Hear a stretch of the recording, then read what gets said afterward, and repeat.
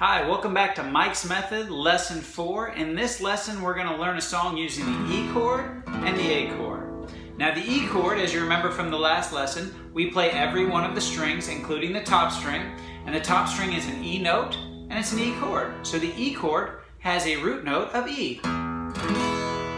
And when we play the A chord, the first string we hit is the fifth string, and we hit the fifth, fourth, third, and second, we don't bother hitting the bottom string because we're using this method of an A where we bar across it.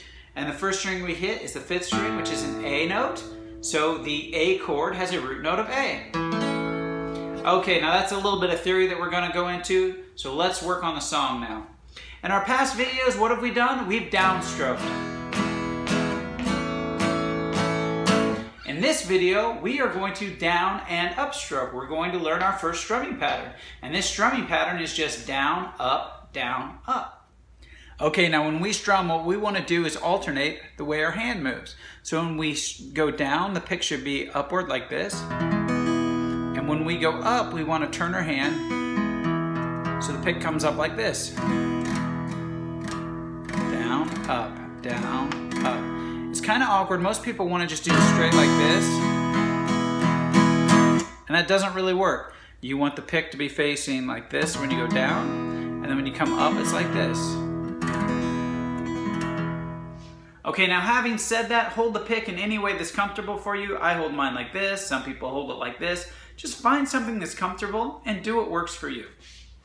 All right, now the moment of anticipation is finally over. You get to see what song we're to learn, and it's the best song in the world. Not really.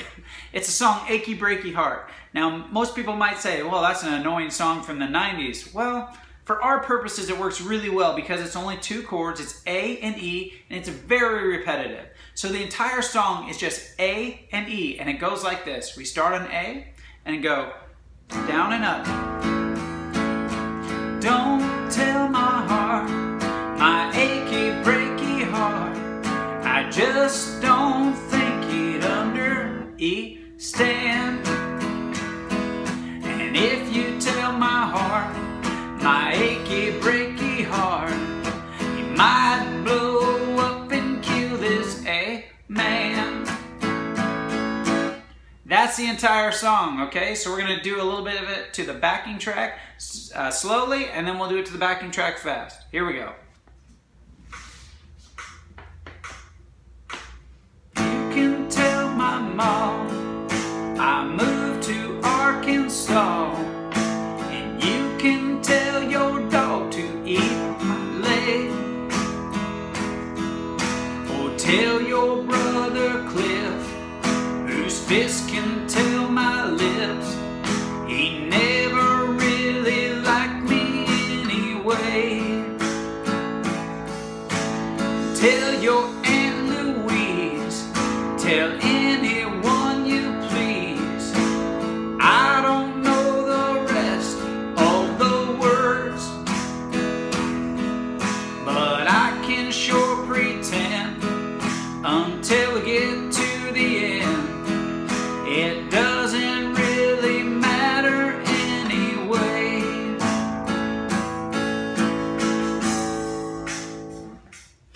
Okay, so just have fun with it. Make up any words you want. It doesn't really matter. I'm going to play it faster with a verse and a chorus just so you have it.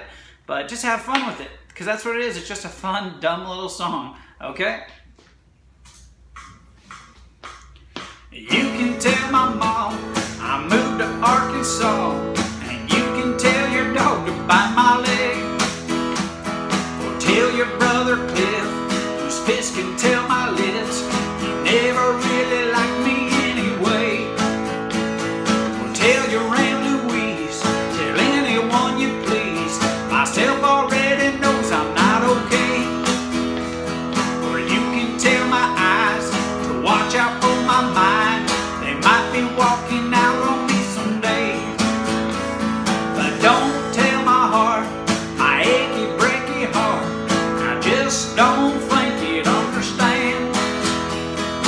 if you tell my heart, my achy, breaky heart, might blow up and kill this man.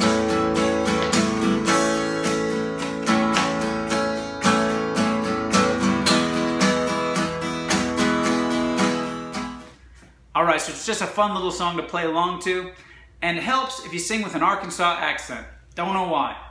All right, so the next thing we're gonna do is we're gonna learn the D chord for our next song. And the D chord starts with the D root note, which is the fourth string from the bottom. And what we're gonna do is we're gonna hit that string open. We're going to take our pointer finger and we are going to put it on the second fret, third string from the bottom. And we are going to take our knotty finger and we are going to put it on the bottom string on the second fret. And we're going to take our ring finger and put it on the third fret, second string, and we're going to make a nice little triangle, okay? And what you want to do is you only want to strum the fourth, third, second, and first strings. You don't want to strum the top two strings. You start on the D root note, which is the fourth string from the bottom. And it sounds like this. There we go. Okay, so your homework for the night is to play Achy Breaky Heart and to also start switching from the D chord to the A chord to the E chord. And do it in random order. So sometimes go E, A, D, other times go D, E, A, A, D, E. Just get used to switching those chords back and forth, okay?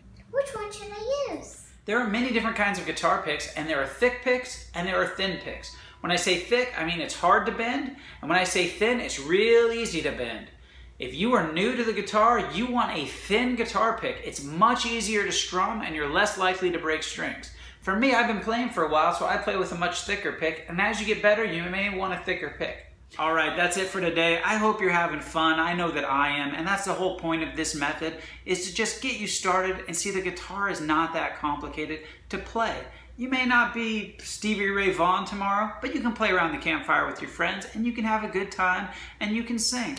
So if you have any questions, please put them in the comments below and I'll try to answer them. So far I've gotten zero comments, which either means nobody's watching these videos or I'm doing a good job. So please let me know either way. If you like them, you hate them, you see something that doesn't make sense, and I'll try to incorporate these things into the later videos. Thanks.